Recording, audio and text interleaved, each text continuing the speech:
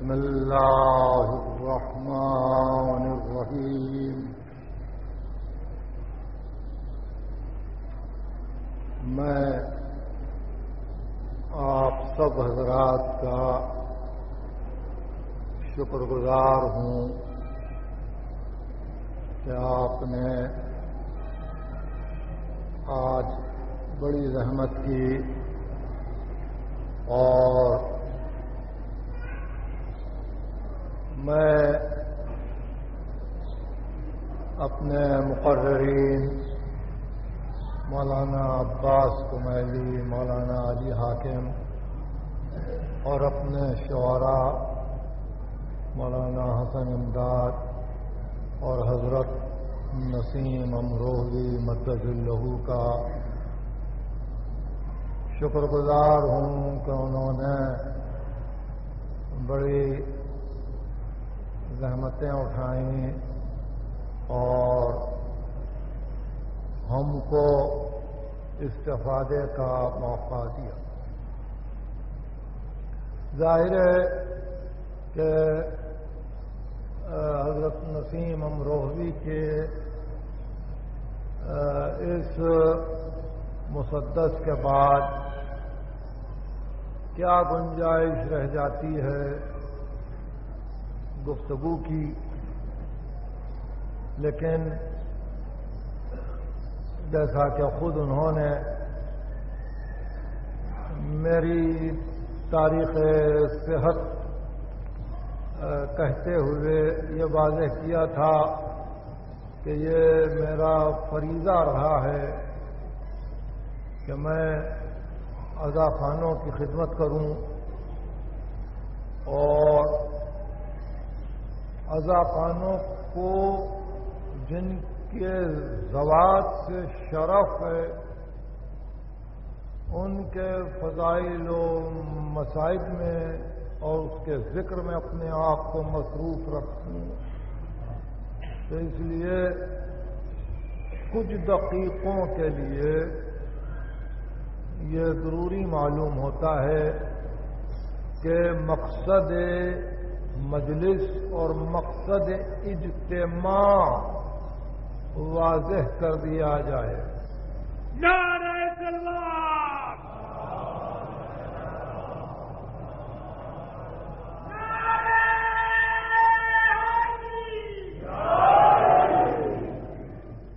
ہر سال اس بارگاہ میں پانچویں شابان کے بعد جو اتوار آئے، اس اتوار کو یہاں ولادت باسعادت حضرت سید سجاد کا جشن ہوتا ہے۔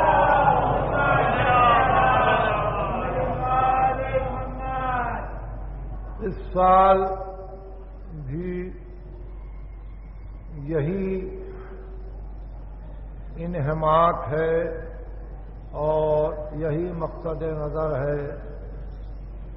اور اس مقصد نظر کی تکمیل کے لیے مرحوم سید علیبا جعفری جو آگرے میں مزار شہید سالس رحمت اللہ علیہ کے جنرل سیکرٹری تھے۔ ان کے صاحبزادے علی علی جعفری نے اس امر کا اہتمام کیا کہ اگر بسلسل خدمات اولاد حضرت سید الساجدین ان ہستیوں کا بھی تذکرہ ہوتا رہے جنہوں نے اپنے جد امجد کے نقش قدم کو رہبر و رہنما بناتے ہوئے اپنی زندگیاں نظر ابلاغ و تبلیغ کی تو ظاہر ہے کہ بھائیوں کے لیے یقیناً افادیت کا باعث ہوگا اور بہت سی باتیں نئی ان کو معلوم ہوں گی۔ یہ کوشش ہے، اچھی کوشش ہے اور اس کوشش کے آغاز پر میں اس اہتمام کرنے والے کو مبارکباد دیتا ہوں کہ انہوں نے اس امر پر ہم کو آمادہ کیا کہ امام کا تذکرہ تو ہوتا ہی ہے، ان کی اولاد کا بھی تذکرہ ہو۔ جیسا کہ حضرت نسیم امروہوی مدد اللہ نے ابھی ارشاد فرمایا کہ یہ آدم آل محمد ہیں۔ یعنی اب جہاں جہاں حسین ابن علی کی اولاد میں سیادت آئی ہے،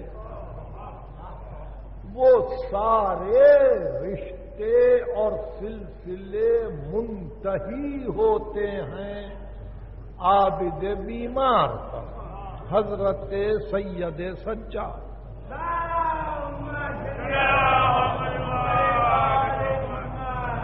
لیکن ظاہر ہے کہ میں، جیسے کہ آپ خود دیکھ رہے ہیں کہ رات کو بھی میرا کارڈیوگرام لیتے ہوئے میرے ڈاکٹروں نے یہ خواہش کی تھی کہ میں کوئی طویل گفتگو نہ کروں۔ اس لیے میں بشرط حیات اس مقصد کی اور اس گفتگو کی کسی اور وقت وضاحت کروں گا۔ آج یہ کہنا ضروری ہے کہ ہندوستان اور پاکستان کی حد تک یہ ایک عجیب بات ہے۔ کہ جتنے مشاہیر گزرے ہیں صوفیہ اور مبلغین میں، وہ سب سید سجاد کی اولاد سے ہیں۔ آپ نے ابھی کہا، حضرت نسیم امروہی نے کہ جو مانتا ہے نہیں مانتا، وہ پہچانتا ہے۔ بہرحال اسی فکر کو مسلسل کرتے ہوئے سارا لاہور داتا گنج بخش کو مانتا ہے۔ کاش وہ جان لے کہ ان کا نام سید علی حجویری ہے۔ اور یہ امام سید سجاد کی ساتویں پشت میں ہیں سارے کشمیر والے جانتے ہیں کہ کشمیر کے پنڈتوں کو جس میں اقبال کے اجداد بھی تھے، جس نے مسلمان کیا، وہ بھی عابد بیمار کی اولاد میں تھے۔ سید علی کشمیری ان کا نام تھا۔ یہ سید علی حجویری، وہ سید علی کشمیری۔ سادات جلالی کو علم ہے کہ یہاں اور مختلف مقامات پر اس کے اطراف میں سید علی ہمدانی کی اولاد آباد ہے اور یہ بھی حضرت سید الساجدین کی اولاد میں ہے۔ ان کا بھی نام سید علی ہے۔ اور یہ جو ابھی آپ نے نور اللہ نام سنا، یہ لقب ہے، ان کا بھی نام سید علی۔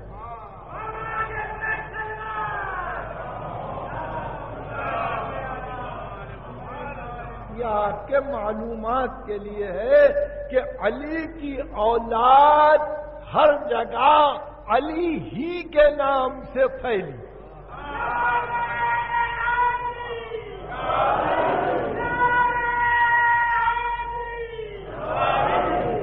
اس کے علاوہ جنوبی ہند میں ایک گیسو دراز جن کے متعلق ابھی ابھی آپ نے اعلان سنا ہوگا، وہ بھی حضرت امام زین العابدین کے اولاد میں سے ملتان میں، اکثر و بیشتر صوفیہ اسی امام کی اولاد میں سے۔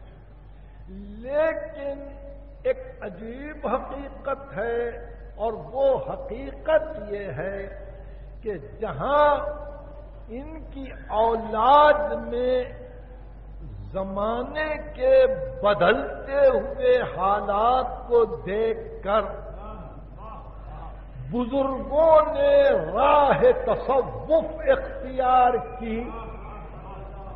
ایسی منزل پر سید علی نور اللہ نے اس حقیقت کو پسند کیا جہاں دین اور تصوف میں فارق نمایاں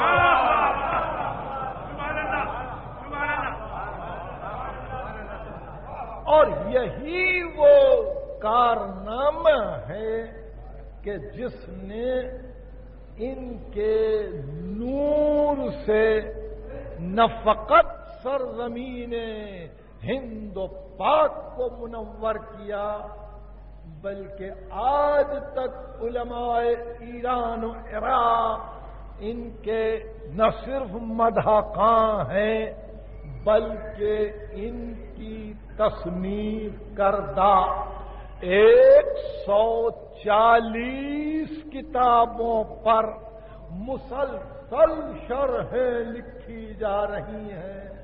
تعلیقے پر تعلیقہ آ رہا ہے۔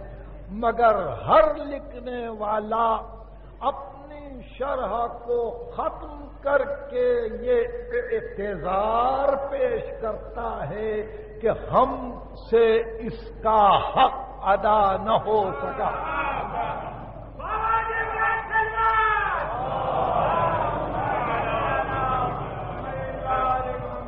میں نے جیسا کیئر کیا کہ حالات ناسازگار ہیں میرے لیے، ورنہ میں آپ کا وقت لیتا۔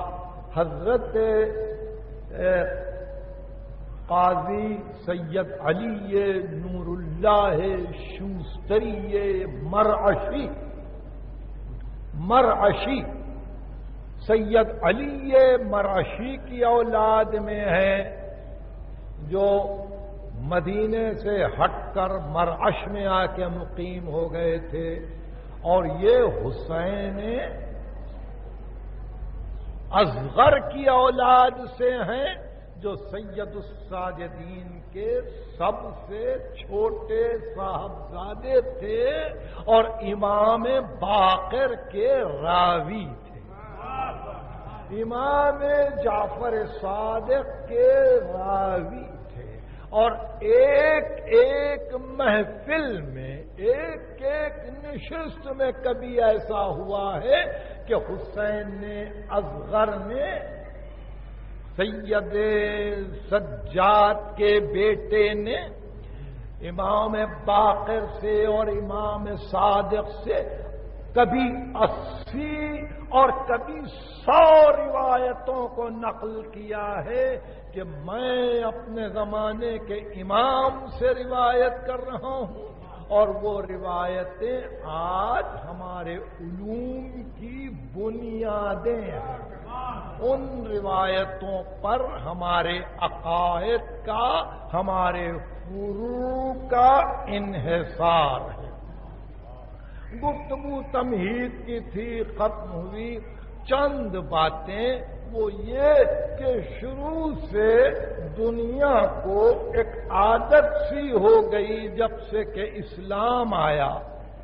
جب سے کہ اسلام آیا اور اسلام پھیلا، ایک عادت یہ ہو گئی تھی کہ جو اپنے کو مسلمان جانے، وہ ذرا سے بھی مخالفت کرنے والے کو کافر مانے۔ یہ بہت غور سے سنیے ان چیزوں کو یعنی وہ اپنے اسلام کی بنیاد ہی اس بات پہ رکھتا تھا کہ جو اس کی فکر کا ساتھ نہ دے وہ کافر ہے وہ دن اور آج کا دن کفر کے فتوے اب بھی آ رہے ہیں۔ کفر کے فتوے آتے رہیں گے۔ کبھی ان فتووں پر پھانسی دی گئی، کبھی ان فتووں پر قتل کیا گیا مسلمانوں کو۔ کبھی ان فتووں پر عمل کر کے مسلمانوں کی توہین کی گئی۔ اور کافر کہنے والے مسلسل کہتے چلے سب سے پہلے ایک عجیب فکر ہے، اگر آپ یاد رکھیں شیخ الرئیس ابو علی سینا۔ شیخ الرئیس ابو علی سینا جو قانون و شفا و اشارات کا مصنف ہے۔ اور ہمارا مانا ہوا اسلام کا حکیم و فیلسوف ہو طبیعی ہو فلسفی ہے۔ یہ بخارا میں پیدا ہوا اٹھارہویں سال سارے علوم اس نے تحصیل کی حنفی فقہ کا پابند تھا اور حنفی فقہ پر فتوے دیا کرتا تھا۔ شیخ الرئیس ابو علی سنگھ مگر ظاہر ہے کہ جب علم اپنے کمال پر پہنچتا ہے تو وہ کسی فقہ کا پابند ہو محبت مجبور نہیں ہو۔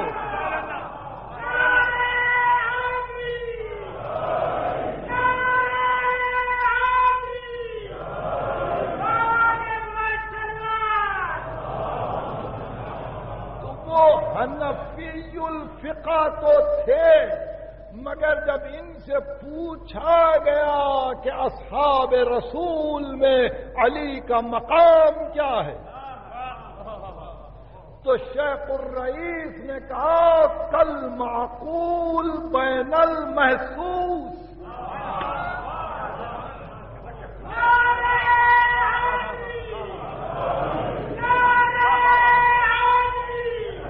دونوں کا فرق یہ ہے کہ یہ عالم حواس سے ہیں سب علی عالم عقل سے ہیں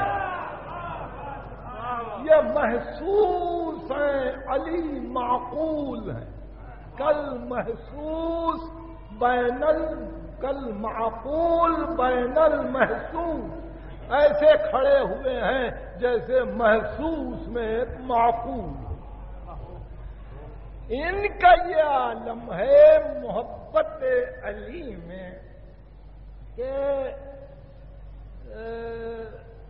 ایک عجیب ربائی کہہ دی کیونکہ شعر و سخن سے بھی اس محفل کا ربط رہا ہے۔ اس لیے تتبوں میں ان حضرات کی کچھ ماضی کی یادوں کو تازہ کروں۔ وہ علی سینا نے ایک ربائی کہی تا بادل ادر قدہ ریختان. جب تک کہ عشق کی شراب جام میں پڑتی رہے گی تاب ادر قدا ریختان وندر پیش عاشق انگیختان اور جب تک عشق کے ساتھ عاشق وابستہ رہے گا با جانو روان بو علی، مہر علی۔ تو اس وقت تک میری جان اور میرے نفس کے ساتھ علی کی محبت کو چو شیر و شکر بہم آمیختان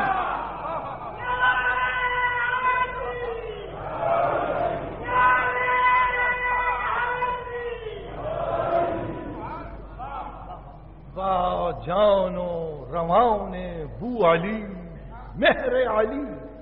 چو شیر و شکر بہم آمی، بہم درامی تان جیسے دودھ اور شکر کو ملا دیتے ہیں، اس طرح سے میری روح کو علی کی محبت سے ملا دیا۔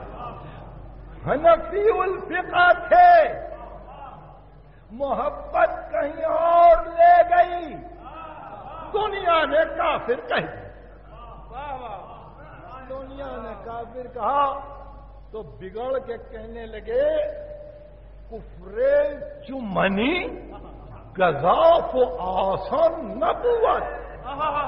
ارے، مجھ جیسے انسان کا کفر آسان نہیں ہے۔ کفرے چمنی گزاؤ کو اوسن نبوت۔ محکم ترازی ماؤن منی من نبوت۔ میرے ایمان سے زیادہ محکم کسی اور کا ایمان نہیں ہے۔ اس لیے میرے کفر کو کوئی آسان نہ سمجھ لے۔ دیکھیے دو مصرے۔ در دہر چمن ایک ہی ساری دنیا میں میں تو اکیلا ہوں۔ وہ ان ہم کافر۔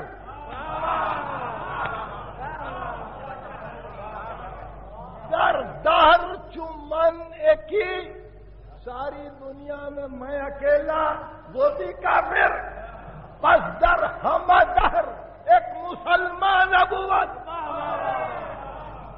اگر میں کافر ہو گیا تو ساری دنیا میں کوئی مسلمان نہیں ہے۔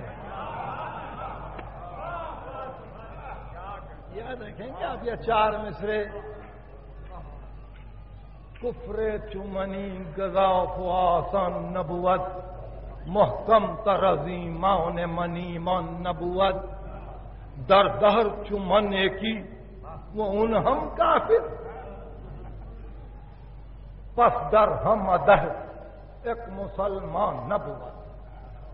تو آپ نے دیکھا جو اپنے آپ کو ساری دنیا میں تنہا جانے۔ اگر اس کو کوئی کافر کہے تو یہ سمجھ لو کہ پھر دنیا میں کوئی اور مسلمان نہیں ہے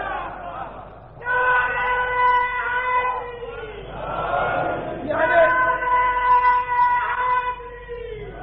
یعنی آپ سمجھے میری بحث کا مطلب در دہر چمن ایک ہی وہ ان ہم کافر، پچاس برس ابو طالب نے رسول کی خدمت کی اور ابو طالب ساری دنیا میں اکیلے محافظ ہیں، رسول کے اور وہی کے، اگر وہ بھی کافر ہو گئے تو دنیا میں مسلمان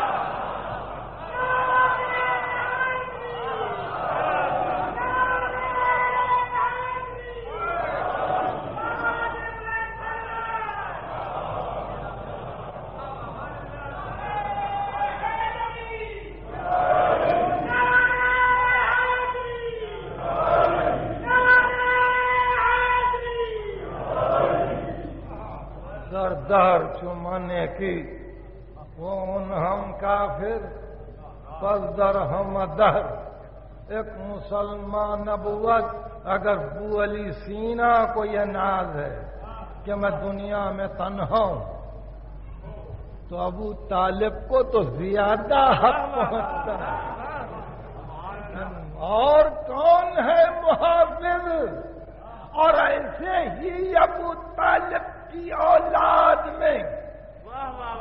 ایک کے بعد جب ایک آیا اس نے اپنے اکیلے ہونے کا اعلان کیا۔ علی صفین کی لڑائی میں کہہ رہے ہیں کہ علی کو کمزور نہ جانو، اگر سارا عرب مجھ اکیلے سے لڑنے کے لیے آئے تو میں منہ نہ موڑوں گا۔ تو اب آپ نے دیکھا کہ ایک راہ علی ہے۔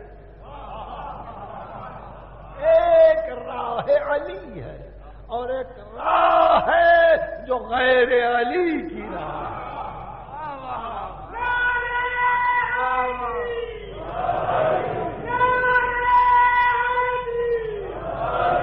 اس سلسلے میں ظاہر ہے کہ نوجوان طبقہ ہے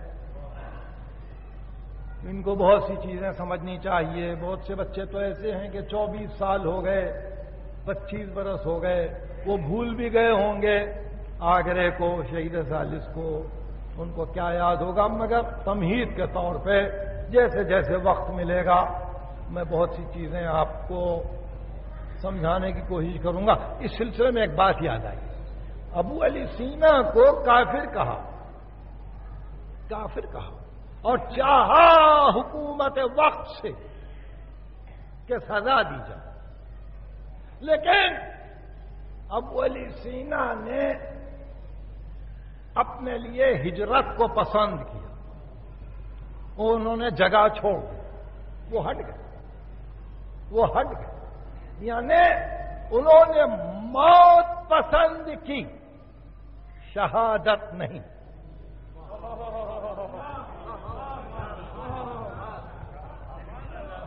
موت شہادت۔ خواجہ نصیر الدین توسی اچھا ابو علی سینا کے متعلق ایک بات یاد رکھیں گے، ان کا سن وفات چار سو سینتیس ہجری ہے۔ ابو علی سینا چار سو سینتیس ہجری ہے۔ ابو علی سینا نے حکمت کو لیا ہے فارابی سے۔ محمد ابن محمد ابن فرقان فرادی جن کا سن وفات تین سو انتالیس ہجری ہے یعنی محمد ابن یعقوب کلینی کے دس برس بعد۔ محمد ابن محمد ابن ترقان فارابی سے حکمت کو لیا ہے بو علی سینا نے۔ وہ کہتے تھے کہ جب تک کہ میں نے اغراض ماباد الطبیعہ کو نہیں پڑھا فارابی کی، میں حکمت کو سمجھ نہ سکا بو علی سینا کے اشارات پر خواجہ نصیر الدین توسی نے شرح لکھی۔ شرح اشارات خواجہ نصیر الدین توسی کی اہم ترین کتاب ہے، جس کا حوالہ بار بار اقبال دیتے ہیں۔ خواجہ نصیر الدین توسی کو ان کے دور کے اہم ترین قاضی نے کفر کا فتوا دے دیا۔ اور کہا کہ یہ کافی اور اس فتوا دینے والے کا نام تھا نظام الدین۔ اور وہ شاعر بھی تھا۔ تو قاعدہ صاحب نے اس کے لیے بھی چار مصرے کہے وہ آپ یاد رکھیں، نظام الدین نظام اور کافرم خانت۔ نظام الدین نظام اگر مجھے کافر پکار رہا ہے، پکارے چراغ کزبرا نبت فروغ جھوٹ کا چراغ زیادہ نہیں جلتا۔ نظام الدین، نظام کافرم خانت، چراغ کزب راؤ نبوت، فروغ جھوٹ کا چراغ زیادہ روشن نہیں کرتا مسلمان خان مشہورا کہ نبوت، وہ مجھے کافر پکار رہا ہے، میں اس کو مسلمان پکار رہا ہوں۔ کیوں؟ کہ نہیں ہے، مکافات دروگے جز دروگے، وہ بھی جھوٹ بول رہا ہے، میں بھی جھوٹ بول رہا ہوں۔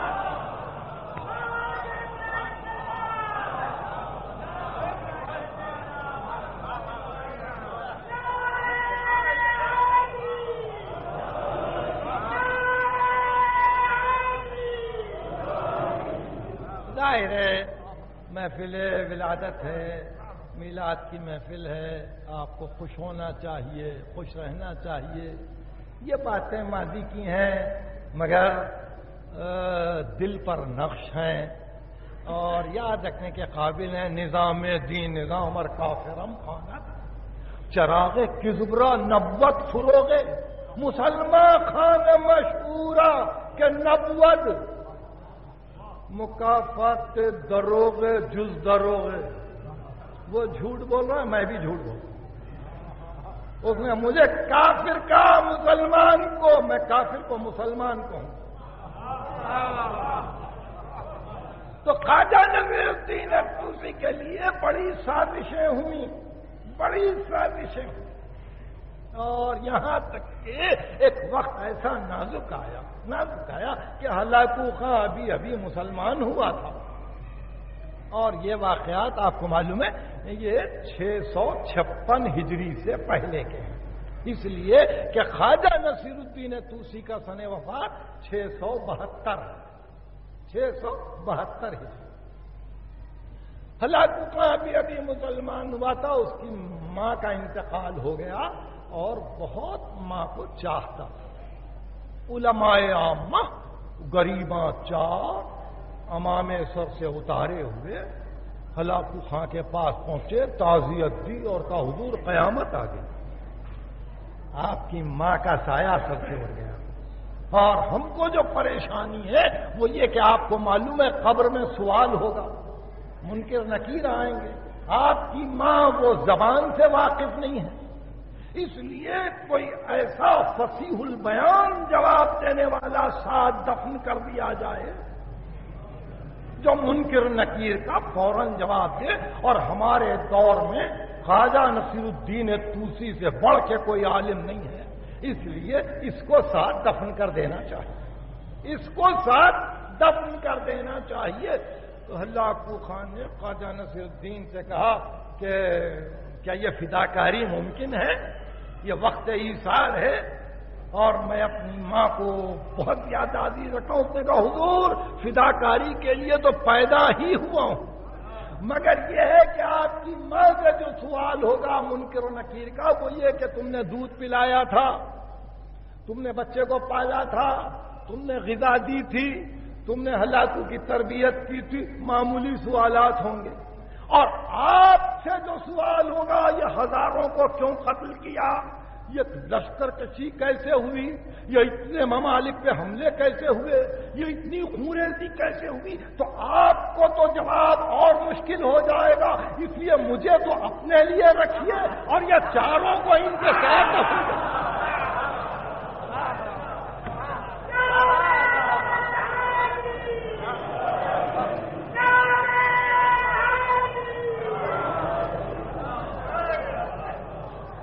مجھے تو اپنے لیے محفوظ کیجیے مجھے تو بڑا جواب دینا ہے سوالات آپ سے زیادہ ہوں گے کا بہت سچ کہتے ہو۔ بہت سچ کہتے ہو۔ اس لیے کہ تم سے بہتر کوئی برہان اور دلیل سے بات کرنے والا نہیں ہے۔ تم میرے ساتھ رہو گے۔ اچھا بلاؤ ان چاروں۔ اور دیکھا، آپ نے مقافات دروگے دل دروگے ان کو ان کی والدہ کی قبر میں زندہ دفن کر دیا گیا۔ ہلاکو کا حکم تھا کہ ان کو دفن کر دو۔ خواجہ نصیر الدین توسی نے ایک راہ نکالی اور یہ بتلایا کہ کفر اس طرح سے آسان نہیں ہوتا ہے۔ کفر کا اعلان آسان نہیں ہوتا ہے۔ خواجہ نصیر الدین توسی کے شاگرد ہیں۔ حسن ابن یوسف نے متحر ہلی علام ہلی ان کا سن وفات ہے سات سو چھبیس۔ خدا بندے کا الجائدو کے دربار میں یہ گئے اور سبوں کو امر حق کی طرف راجے کیا، دین حق کی راہ دکھلائی اور ان پر بھی کفر کا فتوا دیا گیا اور کہا کہ علامہ ہلی کافر۔ ہے کافر ہیں۔ لیکن قصہ یہ تھا کہ حکومت وقت نے سہارا دیا اور ایسا سہارا دیا کہ علامہ ہلی نے کہا کہ اچھا تم مجھ کو کافر کہتے ہو۔ تم مجھ کو کافر کہتے ہو۔ اب میں یہ بتلاؤں گا، اب میں یہ بتلاؤں گا کہ اس پورے سلسلے میں کون کون کب تک کافر رہا۔ اور یہی وہ منزل تھی جہاں جلاول ہلدی نے کام کیا اور نہج الحق جیسی کتاب انہوں نے لکھی۔ اور یہ بتلایا کہ عقیدے کا مقام کیا ہے۔ انسان کے لیے کن عقائد کا رکھنا ضروری ہے اور جو ان عقائد سے ہٹ جائے اس کا مقام کیا ہے؟ اس کے بعد کی تفصیل کو ظاہر ہے کہ احترام ممبر برداشت نہیں کرتا، اس لیے رکنا پڑتا ہے کہ نہج الحق کے لکھنے کے بعد بادشاہ وقت نے کس کس کو بلا کے یہ پوچھا؟ کہ بتاؤ اپنے بزرگوں میں سے کس کو مسلمان سمجھتے ہو اور کس کو کافر؟ تو ظاہر ہے کہ جہاں تلوار سر پر لٹکتی ہو اور بادشاہ وقت کا اندیا بہت سو نے کہا اپنے آبا و اجداد کو بھی کہ وہ کافر تھے۔ بزرگوں کا تذکرہ کیا ہے؟ یہ کتاب اس شان سے آئی کہ دو سو برس تک اس کتاب نے ایک تہلکہ مچا دیا عالم اسلام۔ یہاں تک کہ نو سو ہجری کے آغاز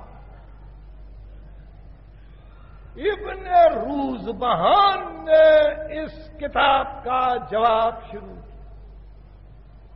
مگر جواب نہ تھا، وہی حرکت تھی کہ ہلی کافر ہے اور انہوں نے یہ تمام اشاعت کفر کی ہے۔ اور یہ وہ مقام تھا کہ جہاں نہج الحق کا جواب دیا گیا۔ اور یہ کہا گیا کہ یہ ابتال باطل ہے۔ اور اس واقعے کو سو برل بھی مکمل نہ گزرے تھے کہ نو سو ترانوے ہجری میں حضرت قاضی نور اللہ شوستری لاہور میں آئے۔ اور لاہور ہی میں قاضی القزاد کے عہدے پر معمور کیے گئے اور یہاں انہوں نے کتاب لکھی، اس کا جواب دیا، احقاق الحق۔ اس کتاب کے متعلق صرف ایک جملہ بتلاؤں، اس کتاب کے متعلق فارسی اور عربی شارحین نے یہ لکھا کہ اس کتاب کی نہ تو شرح ممکن ہے، نہ ترجمہ ممکن۔ ہے بڑی عجیب بات ہے۔ اس کتاب کی نہ شرح ممکن ہے، نہ ترجمہ ممکن ہے، فقط اس واسطے کہ ایک طرف تو اصطلاحات علمیہ کے دریا بہ رہے ہیں اور دوسری طرف فکر اتنی بلند ہے کہ اگر ایک لفظ بھی ترجمے میں چھوٹ جاتا ہے تو جملے کے جملے سمجھ میں نہیں آتے۔ اس لیے لوگوں نے اپنی کوششوں کا ادھورا کیا۔ ہندوستان میں بھی ایک کوشش کی گئی تھی کہ اردو میں قاق الق کا ترجمہ ہو، مگر وہ کوشش ادھوری رہی۔ اب کم میں آٹھ جلدوں میں شرح کی گئی، مگر شرح ایسی کہ پہلے اللہ میں ہلی، اس کے بعد روز بہان اس کے بعد قاضی نور اللہ شوستری، ایک ایک مسئلے پر یہ تین تین حضرات کے آرا۔ اور بس۔ اور اس کے سوا کچھ نہیں۔ اور ہاشیا کہ کون کب پیدا ہوا، جس کا نام لیا یا جس حدیث کے متعلق گفتگو کی، اس حدیث کے متعلق تواتر سے ہے یا ہاتھ سے ہے یا کیا۔ یہ تو اب گفتگو یہاں تک آئی اور ظاہر ہے کہ ان کو بھی کافر کہا گیا۔ ان کو بھی کافر کہا گیا۔ بحث اس مقام پر ختم ہوتی ہے کہ جہاں جہاں یہ کفر کی اصطلاح آئی ہے، وہاں انسان نے اس امر کی کوشش کی، وہ کسی مرتبے کا ہو کہ یہ ٹل جائے۔ یہ ٹل جائے۔ لیکن نور اللہ شوستری کی طبیعت کا یہ عالم تھا کہ یہ پریشانیوں کو خود مول لیتے تھے اور خوش ہوتے تھے۔ یہ مول لیتے تھے زحمتوں کو اور خوش ہوتے تھے۔ اور ایسے موقع پہ ایک عجیب شعر کہا، جب اقاق الحق کو شاعر کے لکھا اور ان کے شاگردوں نے اس کی نقلیں لی کہ کا خوش پریشان شدئی بات نہ گفتم نوری نوری ان کا تخلص ہے۔ کیا اچھے پریشان ہو گئے؟ کیا اچھے پریشان ہو گئے؟ نوری ہم نہیں کہتے تھے۔ آفتی ان سرو سامان تو دارت در پائے کہ یہ تیرا سر و سامان تیرے لیے آفت بننے والا ہے، ہم نہیں کہتے تھے یہ خوش پریشان کی ترکیب دیکھیے۔ خوش پریشان شدئی باتن تموری۔ آفتین سرو سامان تو دارت در پہ اس کا انجام کیا ہونے والا ہے؟ چلو، اچھی پریشانی ہے۔ چلو، اچھی پریشانی ہے۔ یعنی مطلب یہ کہ آپ یہ جان رہے ہیں۔ کہ شہادت ہے۔ یہ جان رہے ہیں کہ مرنا ہے، لیکن سبات قدم کا یہ عالم، سبات قدم کا یہ عالم ہے کہ ان کا پہلا دشمن ہے سید حسن غزنوی۔ سید ہے، سید حسن غزنوی۔ اقاق الحق کی کتاب آئی اور اس نے ایک مرتبہ مخالفین امیر المومنین کی مدح شروع کر دی۔ مخالفین امیر المومنین کی مدح شروع کر تو ایک مرتبہ بگڑ کے کہنے لگے کہ اندر حسب اپنا پہلے تعارف کروائے، اندر حسب خلاص معنی و صورتم میری قابلیت یہ ہے کہ معانی و سور کا خلاصہ ہوں۔ سوات رے۔ یہ کیا تعریف ہے آپ کو معلوم ہے؟ یہ حکمت کی تعریف ہے۔ سورت کو معنی میں بدلنا حکمت ہے۔ جس چیز کو آپ نے دیکھا، اس کو معانی میں بدل دینا حکمت ہے۔ اندر حسب خلا سے معنی و سورتم۔ اندر نصب سلا زہرا و حیدرم اندر نصب سلا حسب وہ ہے۔ نصب یہ اور شکر خدا شکر خدا کہ چن حسن غزنوی نیم۔ یعنی نہ آق والدو نہ ننگ مادرم۔ اللہ کا شکر ہے حسن غزنبی نہیں ہوں کہ جس کو اس کے باپ نے آخ کر دیا ہو یا جو اپنی ماں کے لیے محترم نہ رہا ہو اب دیکھیے اس کی جلالت کا عالم۔ جلالت کا عالم کہ کتنا کانفیڈینس ہے اپنی ذات کتنا تیار ہے ایک انسان لڑنے اور مرنے کے لیے اکیلا۔ دنیا مخالف ہے۔ شکر خدا کے چون حسان غزنبی نے ہم۔ نے آخ والدوں۔ نیانی نہ آخ والدوں نے ننگے مادر۔ اس کے بعد بے اختیار کہا کہ دیکھیے، یہ جو منزل دیکھیے، کیا منزل ہے؟ ترجمہ کروں یا نہ کروں؟ اس کو تو آپ بعد میں سوچیں۔ آپ معلوم ہے، ایک لفظ آپ کے روزمرہ میں ہے حزب ذیل عبارت کو پڑھیے۔ زیل زال یہ لام۔ زیل کے معنی نیچے کے ہیں۔ تو فرماتے ہیں کہ فرزند را کہ تب پدر در نہاد نیس، وہ بیٹا جو باپ کی صلاحیتوں کو فطرتن نہ پائے، پاکی زیل مادر او نیس باورم۔ کچھ آپ سمجھ رہے ہیں اسی میں؟ ترجمہ نہ کروائیے۔ ٹھیک ہے۔ فرزند راؤ کہ تب پدر در نہاد نی پاکی زیل مادر ہو، نیز باورم۔ تو اب ایسی حالت میں حسن غزنبی نے اس قضیے کو اکبر کے سامنے پیش کیا اور کہا کہ حضور یہ شہر اور یہ میرے۔ کہا، بلاؤ۔ بلاؤ لاہور سے طلب کیا۔ کہا، کیا؟ حضور، کچھ نہیں. کچھ نہیں میرے شیر، میں نے کہا، میں نے اور اس کے لیے؟ اور آپ سے یہ کہتا ہوں کہ اگر آپ کی اولاد میں کوئی آپ کے دشمنوں کی مدح سرائی کرے تو آپ کا فیصلہ کیا ہوگا؟ کام میرا فیصلہ یہ ہوگا کہ اس کو قتل کیا جائے۔ کا یہ سید ہے، رسول کی اولاد میں ہے اور رسول کے دشمنوں کی مدح کر رہا ہے۔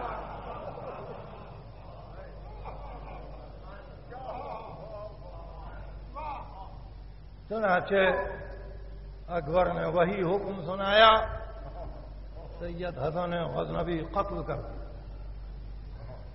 اکبر کا دور ختم ہوا اور یہ دور غالباً ایک ہزار، چودہ ہجری میں اکبر کا دور ختم۔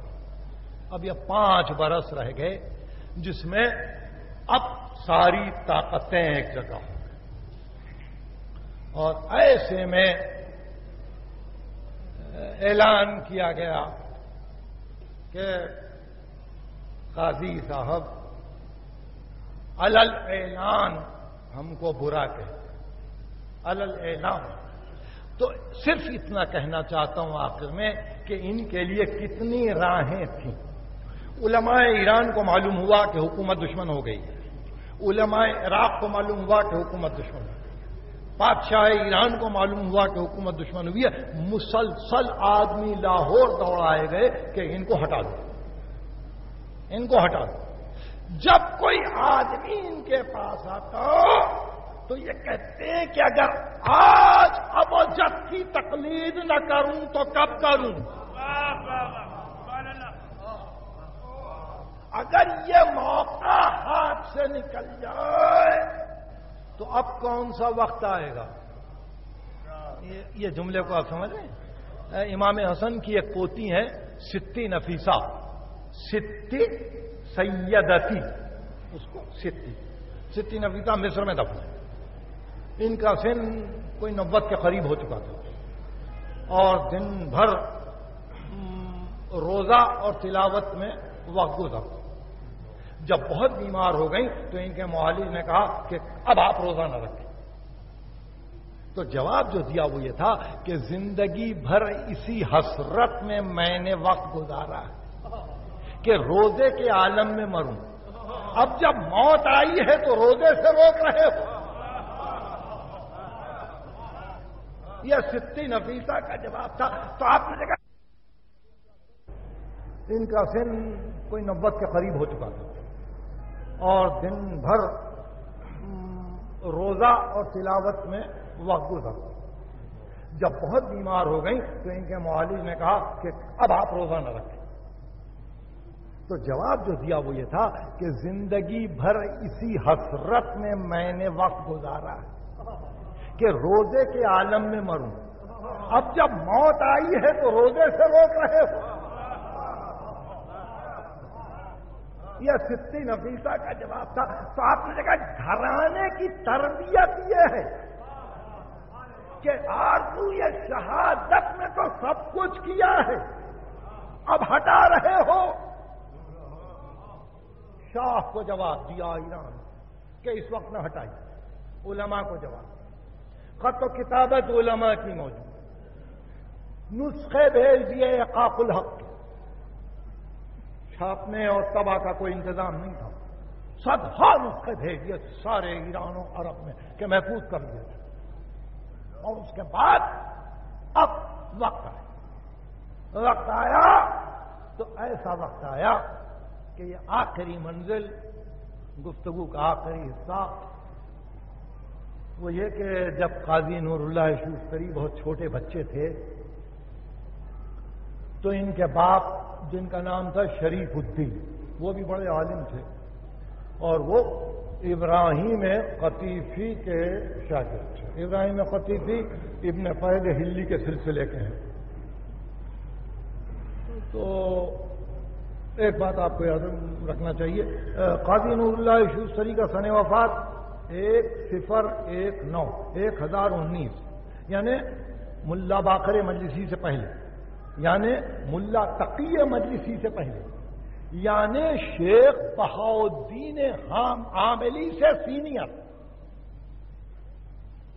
یعنی ایک ہزار انیس وفات اور نو سو ترانوے میں آئے ہیں لاہور تمام علوم کی تکمیل کر کے اور سو سے زیادہ کتابیں انہوں نے خراسان میں لکھی مشہد میں۔ تو اب ان کے والد نے ان کو نزدیک بلایا اور کہا، بیٹے، ایک ربائی یاد کرو گے؟ تو کہا، کیا اب باپ نے بیٹے سے کہا، یہ سلسلے کو دیکھیے، فکر کرو۔ ربائی کیا ہے؟ تو شریف الدین نے جو بیٹے کو ربائی یاد دلائی بچپن میں وہ یہ تھی، چن، خون تو ریخ، خسم بدگوہر تو۔ جب تیرا دشمن تیرا خون بہائے گا، جب تیرا دشمن تیرا خون بہائے گا شدھ خون ہے تو سرخ روئی محشر تو تیرا خون محشر میں تیری سرخ روئی کا باعث بنے گا۔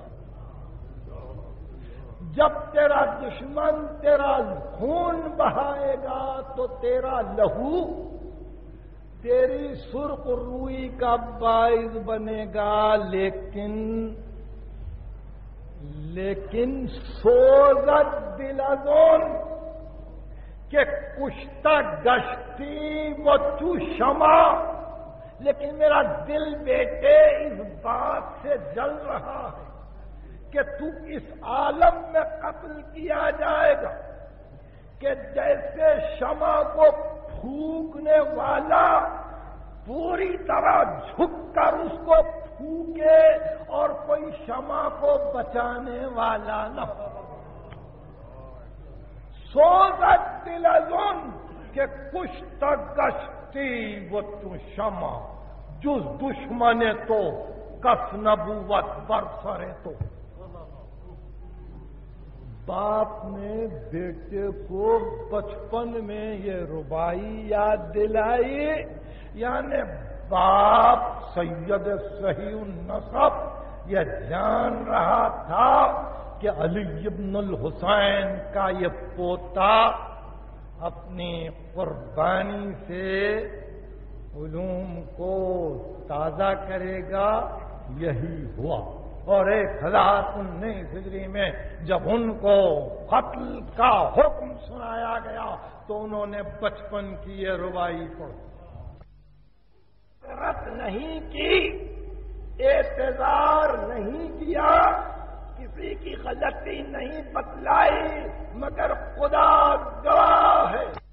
جب تک احقاق الحق دنیا میں باقی ہے، یہ کتاب صحیح معنی میں تصفیہ کرتی رہے گی کہ حق کہاں ہے اور باطل کہاں۔ ہے اسلام کہاں ہے اور کفر کہاں ہے؟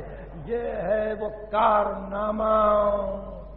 حضرت سید سجاد کی اولاد میں سے ایک بزرگ کا کہ جن سے میں آپ کو مانوس کروانا چاہتا تھا۔ ان کے متعلق پڑھنے کی کوشش کیجیے سمجھنے کی کوشش کیجیے اور ہم پر اگر احسان ہے تو باد کربلا۔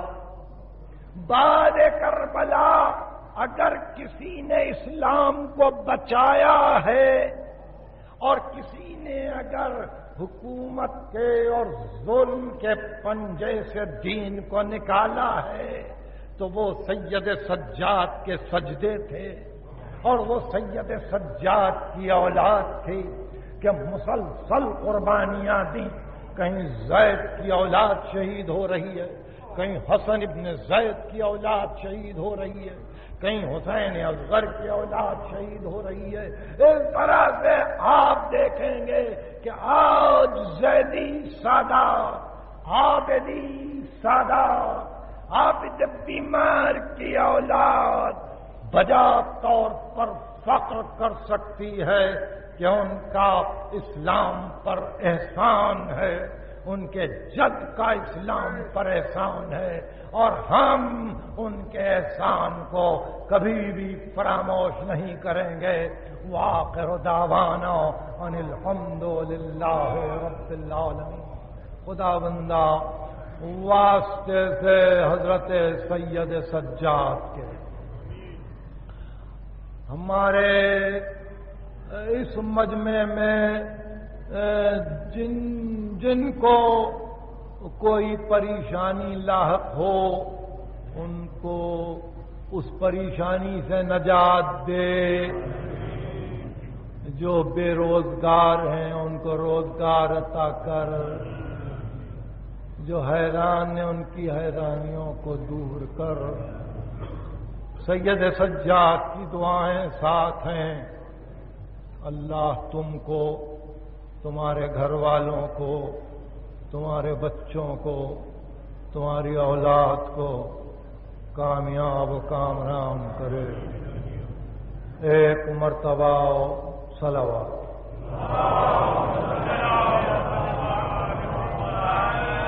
اور ایک مرتبہ